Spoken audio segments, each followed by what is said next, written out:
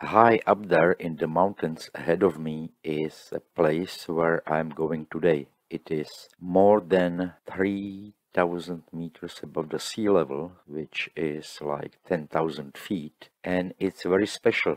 It's one of just a few places in the world, actually in the United States, where the oldest trees on earth grow.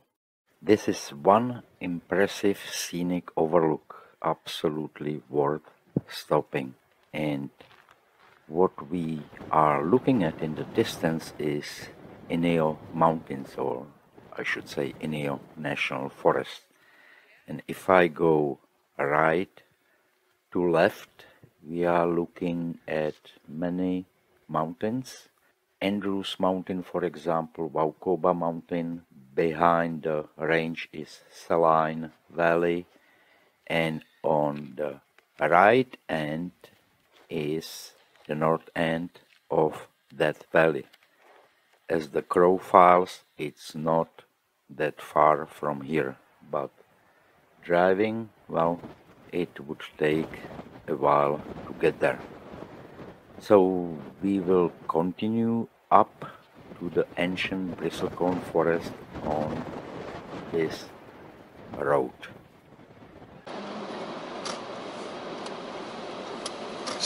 On White Mountain Road for two miles.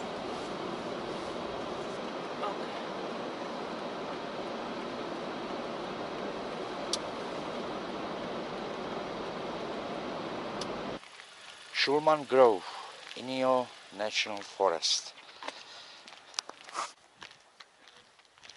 Actually, I think I will continue on a dirt road another 10 miles because there is Patriarch Forest with the truly oldest bristlecones. So we will see how it goes.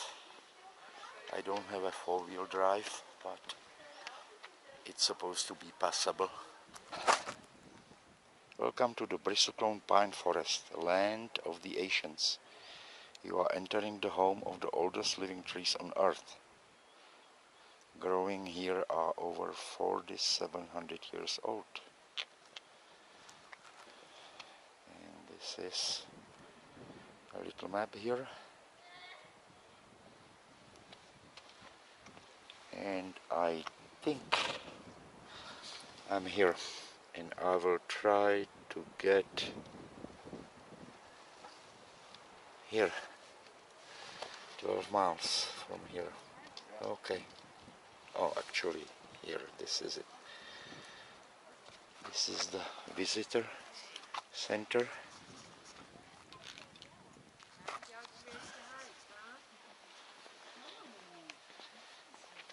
And I can really feel that the air here is lacking oxygen. I mean, I can walk here, it's flat.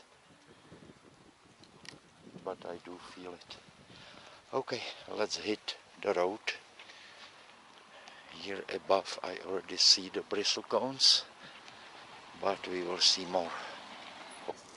Please stay on the trails. Collection of wood is prohibited. Of course it is. Beautiful view no idea what that white mountain is on the horizon. And there is only a dirt road. They say 10 15 miles an hour maximum.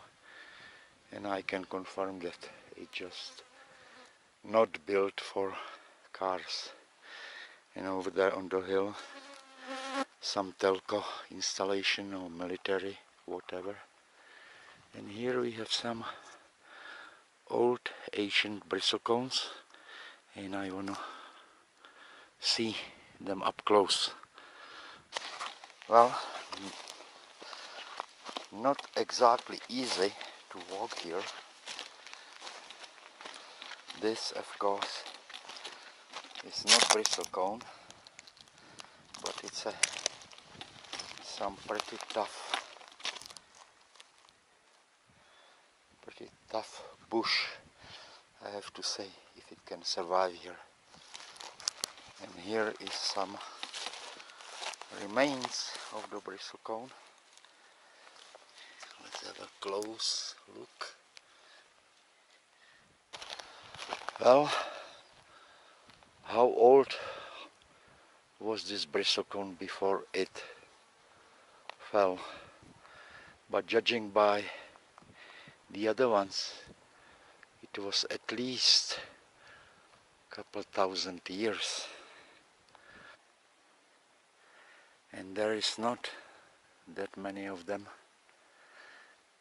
They grow only under very special conditions.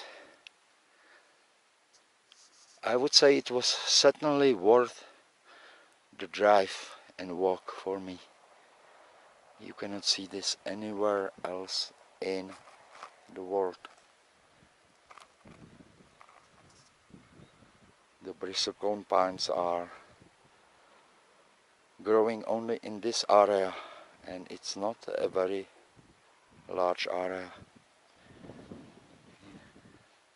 Some occasional traveler over there on the dirt road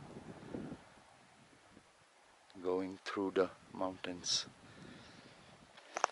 It's really interesting that some of the branches just die out and some continue. It seems to me like Japanese folks would be envious of this. It looks like giant ikebana, really beautiful. Let's take a close up. how it looks and it's uh, probably not easy to count the rings and I heard a story that the first researcher in the 60s 70s I don't remember but a while ago drilled a hole and counted the rings and that's how we determined that one particular tree was about 5,000 years old.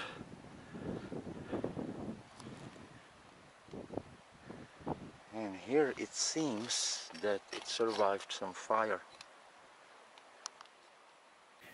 The bristlecone pine's success in living a long life can be contributed to the harsh conditions it lives in very cold temperatures associated with high winds in addition to a slow growth rate create dense wood, meaning some years they grow so slowly they don't add a ring of growth. Due to the slow growth and dense wood, the bristlecone pine is resistant to insects, fungi, rot and erosion. The lack of vegetation where they grow make bristlecone pines rarely affected by wildfires, but it does happen. These slow-growing trees can reach a height of 50 feet and a trunk diameter of 150 inches or something like that. Even the needles on these fascinating trees live up to 30 years long. Have you ever thought when you looked at uh, your Christmas tree that the needles can last for 30 years? They rarely last for 30 days in your living room. Anyway, this allows the trees to conserve energy, more energy, by not having to reproduce new ones. It takes about two years for the bristlecone pine to reach maturity, which is unique amongst trees in the conifer family. The bristlecone pine gets its name from the cones, whose scales appear to have a claw-like bristle. I have abandoned my original goal to go to the place where the oldest tree on earth grows over or around 5000 years old. And the reason is I didn't want to drive more than 20 miles on this gravel road. It's just unnerving to hear all the pebbles and rocks pummeling your car. And uh, so I have stopped by on the way several miles from the Schulman place. And uh, I looked at one particular tree that I liked. I hoped you liked it as well. And uh, that's about it.